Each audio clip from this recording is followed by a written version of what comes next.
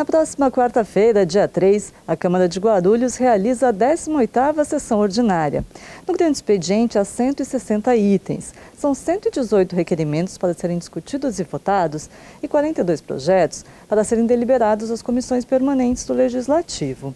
Já na ordem do dia, há 18 itens e quatro deles já têm os pareceres e podem de fato ser votados em plenário. Um destaque é um projeto que cria os conselhos gestores dos Centros Municipais de Educação. Logo depois da sessão ordinária, também está prevista uma sessão extraordinária para deliberar dois projetos que tratam da revogação da cobrança da taxa do lixo. Um é de iniciativa parlamentar e o outro foi elaborado pela Prefeitura. Caso eles sejam deliberados, eles precisam ficar 30 dias em análise nas comissões permanentes. Só depois é que eles podem ser votados em plenário.